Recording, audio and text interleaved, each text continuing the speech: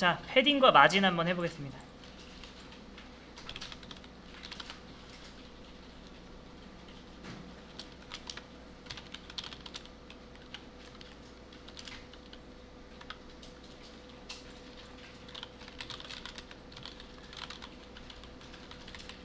참고로 여러분이 뭔가 실험해 볼 때 이렇게 해보시는 게 좋습니다.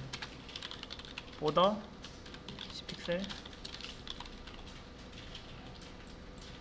border 그쵸?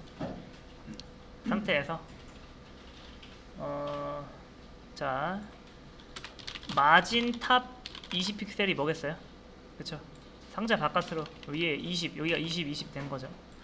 그 다음에 margin left 20 하면은 여기가 20 된 거죠. 200 하면 당연히 뭐 이렇게 될 거고. 자 그 다음에 마진 버텀 하면 뭐예요? 이 밑으로 밀어내는 거죠 네뭐 마진 라이트는 뭐겠어요 오른쪽으로 밀어내는 거겠죠 그리고 그리고 보시면 네. 어, 자 이걸 한번 해볼까요?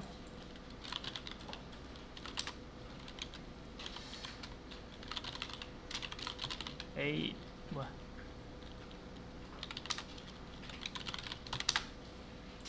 랜덤 고양이 이미지 생성기라고 있어요.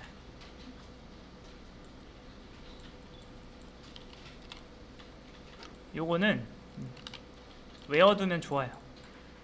이게 뭐냐면 지우 해볼게요.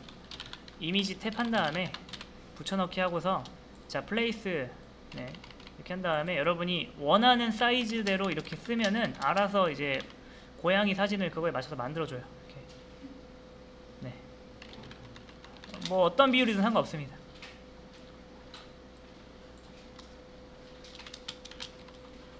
자, 자 이제 요거 갖다가 해볼게요.